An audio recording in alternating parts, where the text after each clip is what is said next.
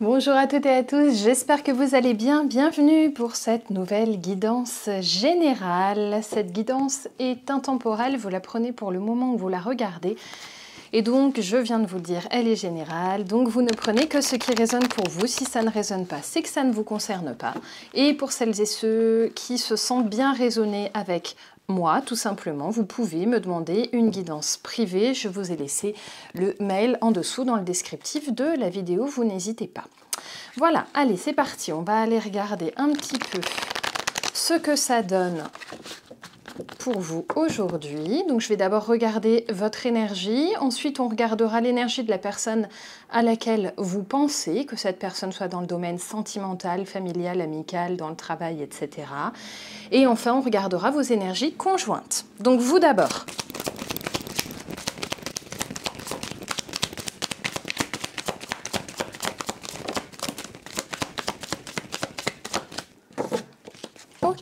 Déjà, il y a une belle connexion au divin qui est en cours chez vous. J'ai vraiment un développement dans ce domaine-là, comme si euh, vous accédiez à une partie de conscience euh, que vous n'aviez pas encore explorée jusque-là. Oui, je crois qu'il y a des vérités qui viennent du cœur chez vous, qui sont en train de faire jour complètement dans votre psyché. Donc là, il y a vraiment, vous, vous êtes en pleine connexion avec votre vérité intérieure. Ce qui va forcément dire qu'à un moment, vous n'allez plus tolérer certaines choses de la part de la personne à laquelle vous pensez, mais aussi globalement de la part de votre entourage.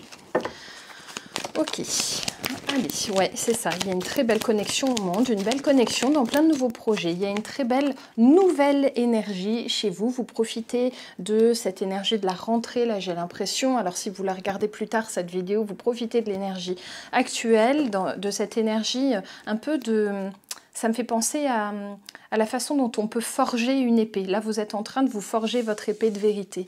Eh bien, en fait, là, vous êtes en train de euh, profiter de cette élan, de ce bel élan, pardon, de créativité que vous pouvez mettre dans votre vie et notamment avec de nouveaux projets. Regardez, vous allez pouvoir bientôt récolter ce que vous êtes en train de semer et ça, vous le sentez. Vous sentez qu'il y a vraiment euh, un appel de la vérité qui se fait chez vous. Ça veut dire que un moment, si votre autre vous fait miroiter des choses qui ne se produisent jamais, vous savez, s'il a le bec bien ouvert mais que derrière, euh, eh ben, il n'impacte rien dans le, dans, le concret, en fait, là, vous n'allez pas hésiter à lui retoquer ses anciennes promesses. Hop là, ça tombe dans tous les sens. Allez, hop, hop, et je vais récupérer celle qui est tombée je ne sais où ou fin fond de la Chine, bien évidemment. Ah voilà, elle était partie sous mon fauteuil. Allez. Ok, en fait, d'une certaine manière, vous arrivez quand même à vous temporiser dans ce que vous devez annoncer à cet autre. Vous n'allez pas lui, lui parler euh, de façon forcément agressive. En fait, je crois que vous allez opter pour euh, le parti pris de vous dire, ben c'est comme ça. Si il ne correspond pas à ce qu'il m'avait promis, eh ben il faudrait que je m'en débarrasse. Mais je crois que vous atteignez un grand point de résilience actuellement. Et donc c'est bien parce que vous êtes dans le lâcher prise en faisant cela. Hein. vous êtes maître et maîtresse de votre cœur là et du coup vous ne voulez plus déroger à ce que vous souhaitez profondément. Surtout vous ne voulez plus de fausses promesses. Regardez dans le domaine amoureux, là on voit que l'amour est très présent, mais que vous en avez marre de vous en prendre plein la figure. Et là vous souhaitez vraiment vous reposer hein, dans cette énergie actuelle. Et je crois bien que vous allez réussir à le faire il y a quand même toujours de la passion entre vous, mais peut-être aussi, regardez, là j'ai une chance, j'ai une opportunité, il est possible aussi qu'au milieu de vous et votre autre, il y ait une autre personne qui arrive pour vous. Peut-être que votre autre, il a trop tardé aussi à saisir ce que vous lui proposiez et que du coup, eh ben, finalement, il y a peut-être encore une énergie tierce, mais de votre côté, là ce coup-ci, qui va venir euh, bah, en fait pour vous proposer quelque chose de nouveau. Et il est tout à fait possible que cette énergie tierce, justement, ça se, euh, retrouve dans une attitude passionnée chez vous. Et du coup, il est possible que vous, laissiez, que vous laissiez tomber votre première autre bah, au profit d'un deuxième tout simplement. Hein. Attention, là, on vous dit que vous mettre en colère contre la personne à laquelle vous pensez, là, pour ce tirage, dans une quête de vérité, n'apportera que du négatif entre vous. Donc faites bien attention à ça parce que ça vous sera délétère. Ne vous mettez pas en colère. Je vous propose de faire un peu comme ce que je vous ai énoncé là au tout début du tirage, d'y aller un petit peu avec du lâcher prise. Et vous verrez que c'est ça qui sera couronné de réussite, les amis. C'est comme ça que vous y arriverez à faire entendre votre point de vue à cette personne. C'est une décision que vous devez prendre en votre âme et conscience. Si vous êtes prêt et prête à lancer un ultimatum à votre autre, potentiellement s'il ne répond pas à vos exigences, il va falloir aller jusqu'au bout de l'ultimatum. Si vous ne mettez jamais vos menaces à exécution, au bout d'un moment, vos menaces, elles perdent de leur substance. Ça sert à rien de menacer tout le temps s'il n'y a jamais rien derrière. Si vous menacez, il faut avoir le cran d'aller jusqu'au bout. Hein. Ça, c'est facile à dire, je le sais, mais par le fait, à un moment, sinon votre autre il se dit ouais, bof, elle râle, elle râle, et puis il se passe jamais rien, quoi. Hein. donc euh, c'est pas grave, on peut continuer de râler. Il faut quand même qu'à un moment, si, si, vous lui lancez euh, cette. Si vous atteignez un point de non-retour, il faut absolument que vous lui mettiez des barrières au bout d'un moment, mais de façon concrète. Hein. Donc là, c'est ce qu'on vous propose de faire. Il faut maintenant que cet autre qui vous a fait beaucoup de promesses aille jusqu'au bout de ses promesses il faut qu'il impacte dans le concret. Et de la même manière, vous en miroir, vous devez, si vous lui lancez euh, ces, ces, fameux ultimatums, il faut absolument que vous alliez jusqu'au bout aussi de ces ultimatums. Vous ne pouvez pas lui demander de l'entièreté à votre autre si vous-même vous n'en faites pas preuve.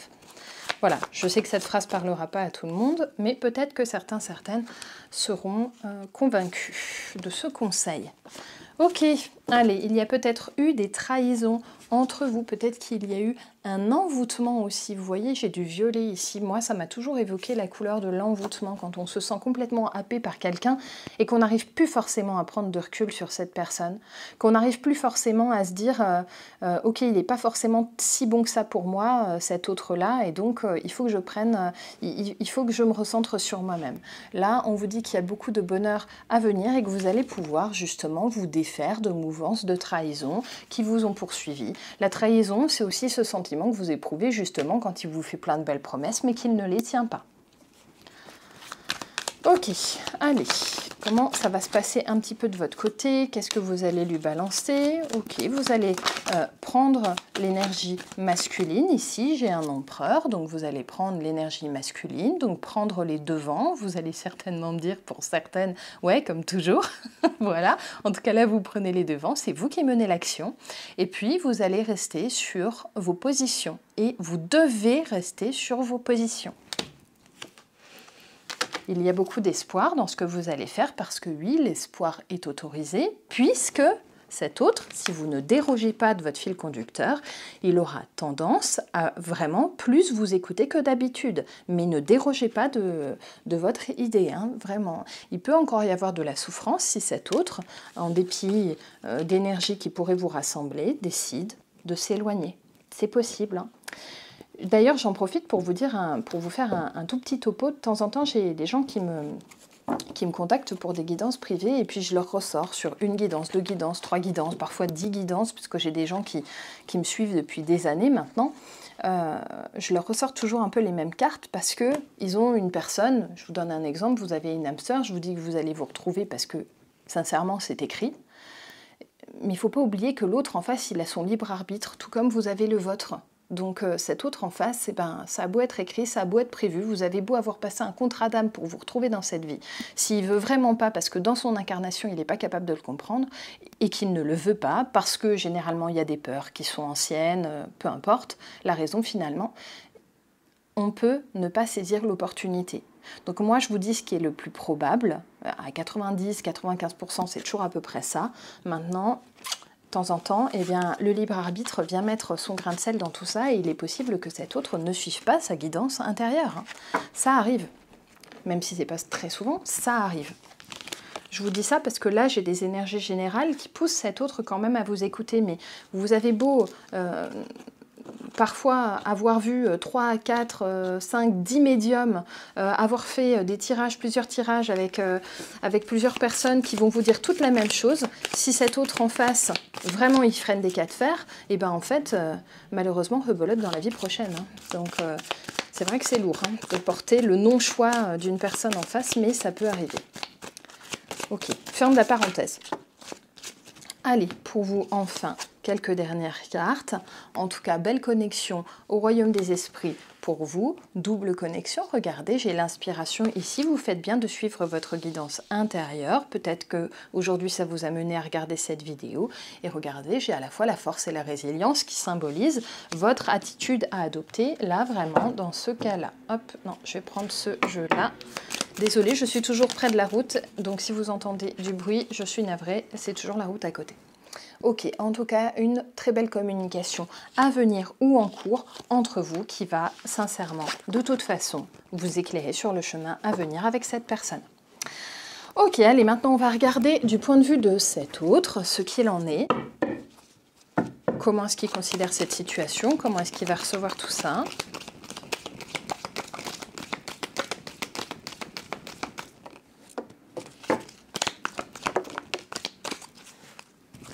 Ok. Allez, c'est parti. Donc déjà, il va se sentir, là, il va se sentir complètement fissuré, complètement morcelé par ce que vous allez lui dire. Ça va le faire un petit peu s'effondrer. Il va pas trop comprendre à un moment pourquoi vous lui tombez dessus plus que d'habitude. Mais parce qu'en fait, il ne comprend pas que la coupe est pleine. Lui s'imagine que la coupe c'est un puits sans fond, vous voyez, qui peut continuer de faire des conneries ou de vous raconter des bobards et que ça continuera d'aller comme ça. Peut-être qu'il a été mal habitué aussi tout simplement par son entourage ou peut-être que vous, vous avez été à un moment très patient, trop patient même pour cette personne puisque cette personne n'a pas l'air de comprendre qu'au bout d'un moment, et eh bien justement, euh, stop quoi, hein, il faut s'arrêter, il faut arrêter les bobards. Ok, donc là, c'est quelque chose d'assez surprenant pour cette personne. Et puis on voit que quand même la graine est plantée. Ce que vous allez lui dire, ça va commencer à germer, ça va commencer à faire son chemin. C'est une apocalypse, c'est une destruction pour cet autre, ce que vous êtes en train de créer, parce que lui, je vous le dis tout de suite, n'avait pas l'intention de changer d'attitude. En dépit de ses promesses, il a pensé que ça durerait comme ça pour toujours, ad vitam aeternam, et où est le problème? Et donc c'est quelque chose qui va énormément l'assombrir, cette communication, parce que et en fait, il va pas trop comprendre d'où ça sort. Ce qu'il ne comprend pas, c'est qu'en fait, vous vous époumonez peut-être depuis des semaines, des mois, des années, si ça se trouve, et que eh ben, votre autre, là, euh, ça lui monte seulement maintenant au cerveau. Donc euh, voilà, ça y est, il, commence, il va commencer à percuter, là. On lui dit quand même à cet autre, il a aussi son petit message pour lui, hein, qu'il a fait, regardez, hein, trop de promesses ici. Hein. Il y a eu trop trop de promesses, trop de promesses non tenues surtout. C'est ça qui, qui le met dedans. Excusez-moi, je m'attache les cheveux, je suis en train de cuire dans mon bureau. En tout cas, ces fausses promesses qu'il vous a fait, eh bien maintenant, vous lui demandez de les tenir et donc on va voir ce qu'il va faire. Dans euh, le pratico-pratique, dans le matériel, est-ce que cette personne va euh, opter pour le fait de tenir ses promesses ou est-ce qu'il va essayer de continuer à vous balader?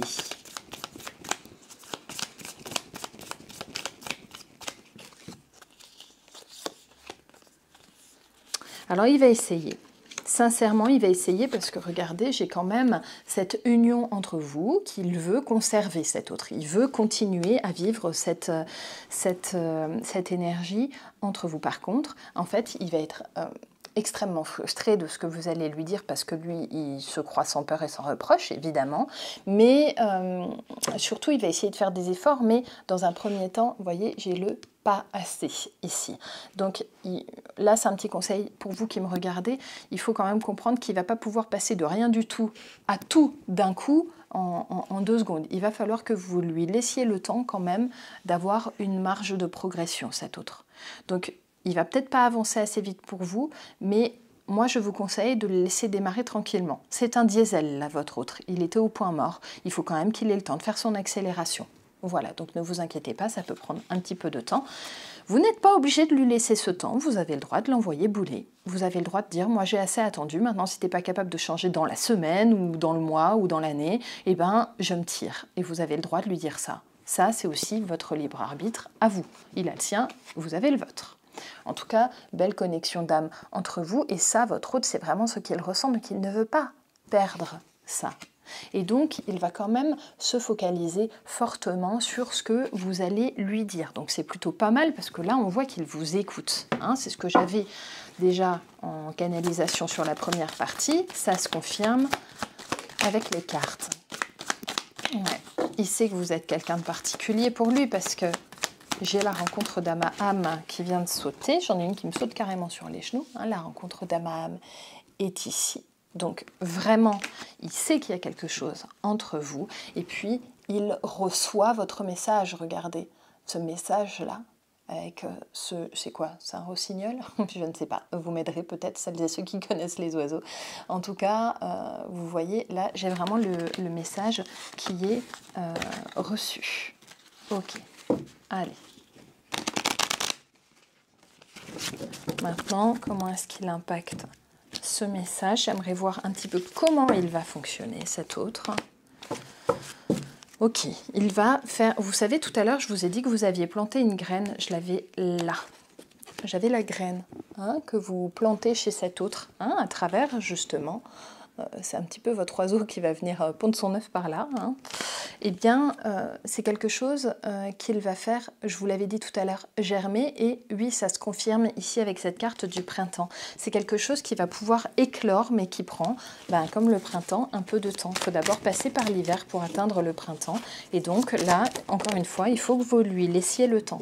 J'ai vraiment un lien karmique fort entre vous parce que j'arrête pas d'avoir des, des cartes d'âme sœur, de Peut-être euh, que certains, certaines sont en flammes jumelles. Bon, vous savez, pour ceux qui me suivent depuis un moment, que j'aime pas trop parler de FJ, mais bon.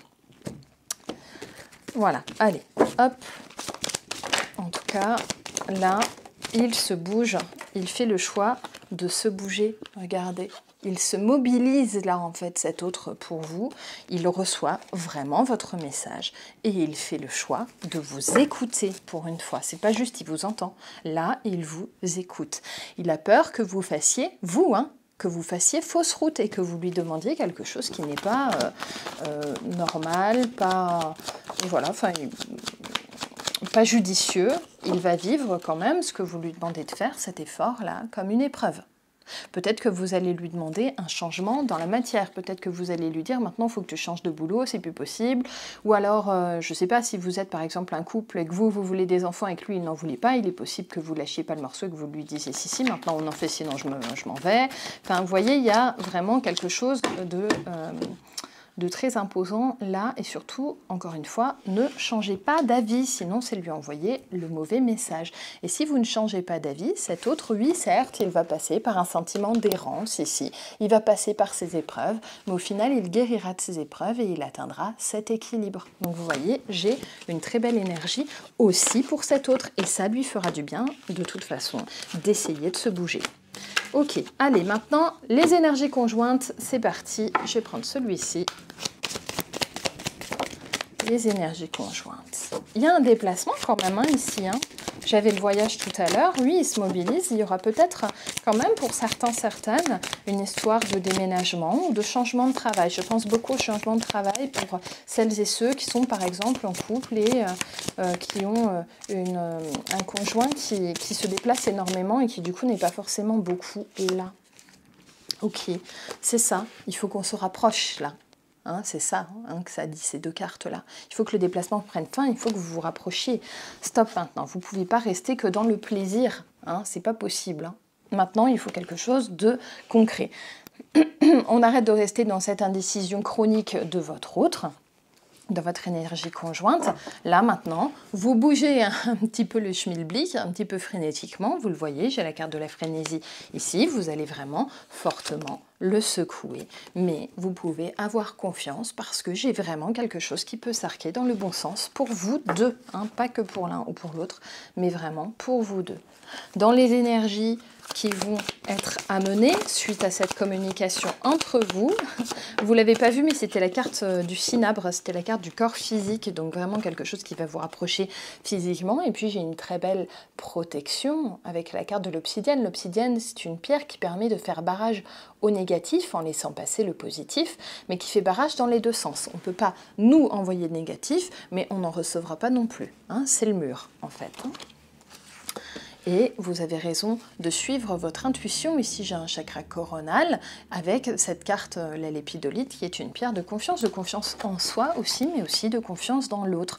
En fait, cet autre, en lui montrant que vous avez fait le bon choix, en lui imposant finalement quelque chose sur lequel il avait peur que vous fassiez tous les deux une boulette, eh bien, vous allez lui prouver qu'il peut aussi vous faire confiance et faire confiance en votre jugement. Et ça, ça va beaucoup le rassurer parce que cet autre, il va se rendre compte aussi qu'il peut aussi compter sur vous. Peut-être c'est quelque chose qu'il n'avait pas tout à fait intégré jusque-là. Ouais, et là, vous allez ensuite pouvoir prendre un peu de repos ensemble suite au changement que vous allez lui demander. Voilà les amis, moi ça me semble plutôt positif tout ça. Qu'en pensez-vous? N'hésitez pas à me faire un retour en tout cas en commentaire. Je vous interprète les petites dernières qui sont sorties. On vous dit encore une fois qu'il faudra peut-être un petit peu patienter pour que les choses se fassent, qu'il y a une magnifique perspective entre vous et qu'il y a vraiment un seuil à passer en ayant cette communication.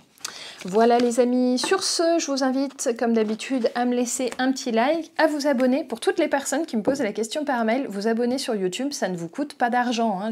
Enfin, vous abonner à une chaîne, ça ne vous coûte pas d'argent, je vous le reprécise. Hein. Vous n'êtes pas... Euh, voilà, ça ne vous coûte rien, en tout cas pas sur ma chaîne. Euh, donc n'hésitez pas. Et puis, euh, eh bien, je vous laisse pour aujourd'hui et je vous poste dans la semaine deux vidéos un petit peu sympas. Une justement sur le fait d'attirer l'âme sœur avec des pierres de lithothérapie. Donc c'est assez simple. Je vais, je vais boucler cette vidéo tout de suite. Et puis, je vais vous proposer aussi une vidéo avec un unboxing de la part de DS Cosmique. Voilà, à très vite les amis. Bye bye